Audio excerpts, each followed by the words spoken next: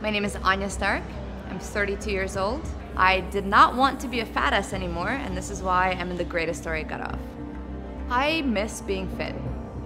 I just really miss being an athlete, and I think I lost that part of my life. I think it would be really great if I were to win the first ever women's Gut-Off, considering that my boyfriend won the first ever Gut-Off. However, I know that the girls have been working really, really hard, but I'm gonna give it my best. I've got another month.